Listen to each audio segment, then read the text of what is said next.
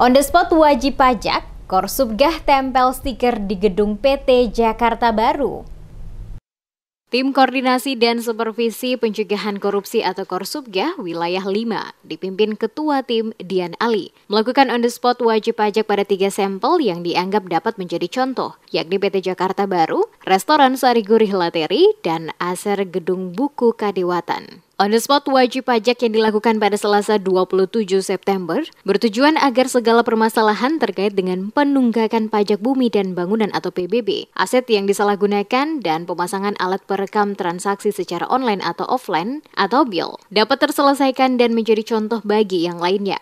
Ali menguraikan on the spot pada sampel pertama, yakni PT Jakarta Baru Group ini, terkait dengan PBB. Terdapat tiga lahan lain yang dimiliki oleh perusahaan ini yang belum dibayar, sehingga tujuan kegiatan ini agar pemilik dapat melunasi tiga lahan tersebut. PT Jakarta Baru yang memiliki empat objek diketahui baru melunasi satu objek pajak, sedangkan tiga objek lainnya belum dilunasi dengan total pajak 146 juta rupiah. Dirinya menambahkan, pendampingan wajib pajak ini bertujuan agar menjadi contoh bagi usaha lainnya agar tidak lambat atau menunda pembayaran pajak. Sementara itu pada sampel kedua, Dian Ali bersama tim juga memasang stempel kepemilikan aset pada gudang buku yang dialihfungsikan menjadi rumah tinggal tiga kepala keluarga.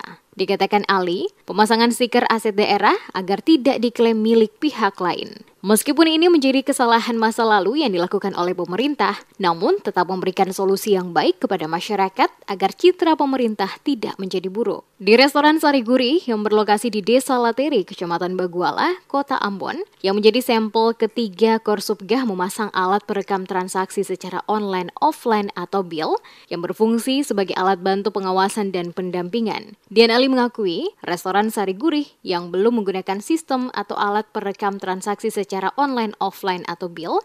Padahal restoran ini termasuk salah satu atau tempat usaha yang paling ramai di kota Ambon. Yang punya ini juga punya tiga lokasi tanah lagi yang belum melunasi PBB. Total nilainya 146 juta. Ya, yang tadi kita harapkan dari kota sih inginnya ya cepat mungkin, tapi ya mungkin nanti akan kita bicara paling telat seminggu dilunasi kalau tidak akan tentu nanti ada tahap-tahap berikutnya, pajakan, peringatan satu, dua, sita, dan lain-lain.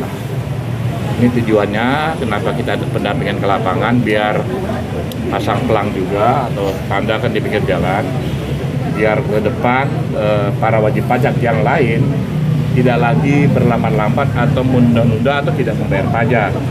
Atau jangan sampai ya apa namanya ada moral hazard tidak dibayar karena ada oknum begitu kan? Nah, kita dorong ke depan seperti itulah. Kalau yang di sini dia ada empat objek. Di sini sudah sudah lunas tadi katanya. Tiga yang lain tiga objek belum dilunasi 146 juta totalnya rupiah. Sementara itu, Kepala Dinas Pengelola Pajak dan Retribusi Daerah atau DPPRD Rolex De Fretes. Saat diwawancarai sejumlah wartawan perihal baru pemasangan sistem tersebut di restoran ini, beralasan keterlambatan pemasangan karena penyesuaian sistem. Dirinya menambahkan sudah ada beberapa jenis usaha yang terbilang ramai pengunjung selain Sariguri yang telah memasang alat tersebut, seperti McD, Hotel Kanari, Hotel Rumah Beta, Imperial, Sariguri di pusat kota, dan beberapa tempat lainnya penyesuaian sistem aplikasi yang punya di sini dengan alat yang dipasang oleh KPK. Oleh sebelum terlambat, tapi syukurlah sudah bisa dioperasikan.